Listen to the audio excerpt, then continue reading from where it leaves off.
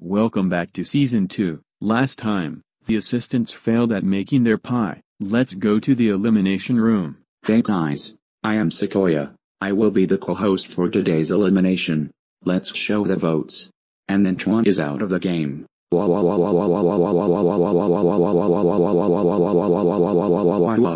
We got another food contest. It is to make pancakes for NYFB. Whoever makes the best, wins. Go.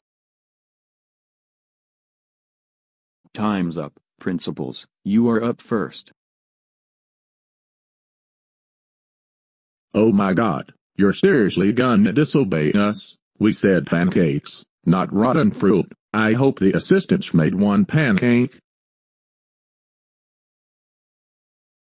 That looks better. You win. Oh, an eliminated contestant is rejoining the game. Okay everyone, this is a double elimination. Vote for two contestants to get eliminated. And don't forget to also vote for someone to rejoin the game.